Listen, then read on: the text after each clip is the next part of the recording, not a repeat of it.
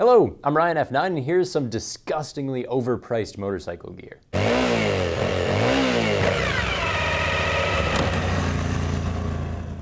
First up, the Kuryakyn Hornet Electrical Deer Avoidance System.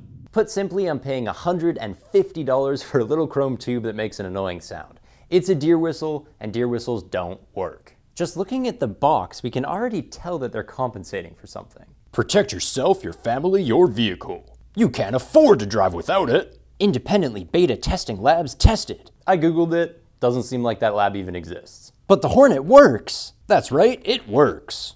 No, it doesn't. Is the Hornet a deer whistle? No. The Hornet is a small electrically powered sonic generator which produces a high powered directional sonic wave.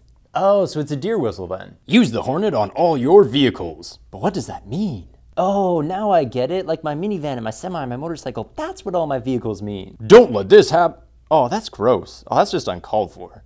Warning, deer accidents are on the rise. They're coming for us. Gold medal for this random dude. Proven to reduce the risk of animal vehicle collision by more than 70%. Oh, wait a minute. The fine print says that's just an estimation.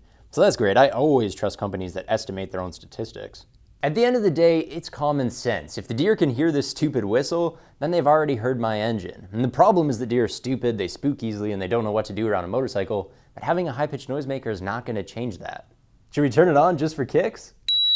Oh, that's annoying. Now, choosing my second piece of overpriced motorcycle gear was all too easy. This is the Adventure Rally Air, and Klim charges $1,700 for it. I mean, at that price for a mesh jacket, it would have to amaze me to avoid being on this list. But it doesn't. This is the perfect example of luxury lunacy. I mean, Klim just threw expensive shit at the Rally Air until it justified the monumental price tag, but they didn't actually stop and think about whether or not it made any sense. Case in point, heavy-duty Kevlar mesh, which costs a fortune and is nearly bulletproof. And then we have Talisman Superfabric abrasion zones, which are basically tiny ceramic plates welded with a laser onto Kevlar-infused Cordura. Again, it's nearly bulletproof, but it's extremely expensive and extremely heavy. And then we have D3O back and body armor, CE level 2 certified, complete with the chest protector, which you'll rarely find this side of MotoGP. And what do we have now that we've spent our $2,000? A mesh jacket that weighs a freaking ton. So I need this kidney belt here to make the weight manageable. And between this, the chest armor, and all that Talisman super fabric, the thing doesn't ventilate very well. I mean, the Kevlar mesh can let in as much air as it wants. It doesn't change the fact that half my body's surface area underneath is tightly wrapped up. It's absolutely hopeless. I mean, I tried to take the thing out for an afternoon ride in Montreal, and it totally sucked. I mean, first I got super hot and sweaty underneath the chest armor and the kidney belt, so then I undid the kidney belt to try to flow more air, but of course that unleashes all 5,000 pounds of this jacket onto my back and shoulders. I can't even imagine how heavy it would have felt if I'd filled up the hydration bladder. And in the end I just gave up on it. I swapped this thing for a $130 Fieldsheer, which cost a 13th of the price, weighed half as much and flowed twice the amount of air. Klim? This is stupid. And you set out to make the most expensive mesh motorcycle jacket in the world, and you totally forgot what makes a mesh jacket useful in the first place ventilation. Now, my third overpriced piece of motorcycle gear is this. It's the Icon D3O Comfort insole. I already went into this rant when Icon started putting D3O armor into the knuckles of their gloves, but I'm gonna mention it again here. Viscoelastic armor is not good at everything. Yes, D3O does make exceptional knee, hip, and back armor. It's soft and pliable against the body, it turns rigid in a crash.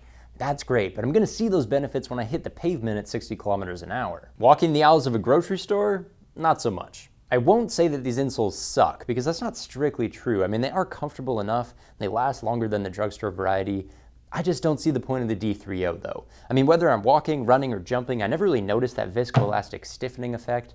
Maybe I just don't care. Either way, this just seems like an excuse for Icon to make a $40 insole and brag about their special relationship with D3O. Skip it, spend 10 bucks on Dr. Scholl's, you'll be just as happy. And finally, the Bell Bullitt. Oh, he's not gonna say something bad about the beautiful Bell Bullitt, is he? Hell yes I am. The problem with this $500 piece of crap is that it wasn't actually designed by Bell. And what happened was a university student named Chad Hodge drew this up as his thesis, and then he put a picture of it online so that all the hipsters could salivate over the desperately trendy design. Once it looked like enough people would buy it, Bell stepped in and actually made the thing. So what do you get when someone with next to no experience in helmet construction designs a bucket purely based on aesthetics? You get a face shield that doesn't seal so it's loud in traffic and wet in the rain. You get permanently open vents that whistle like a tea kettle above 80 kilometers an hour. You get the aerodynamics of a beach ball, which aren't very good by the way, and you get a jawbreaker of a chin bar, which sits so close to my face that it's basically a safety hazard. Plus, a lot of riders have noticed that the face shield and the shell scratch each other just by opening and closing. I haven't actually seen that yet with this bubble version, but if it is true, that's gonna be the most glaring design flaw I've ever heard of. What's something good I can say about this helmet? Um, it's pretty light. Uh, it tipped my scale at 1,470 grams. I like that. It's pretty slim as well, although that does make the amount of wind it catches even more inexcusable. Um, what else? Uh, the eyeport. The eyeport is absolutely massive, good field of view. I like that. Oh, and it comes with a brown interior. And that alone is going to be worth 500 bucks to some people. Not to me. And that's it for my most overpriced motorcycle gear. Thanks for watching.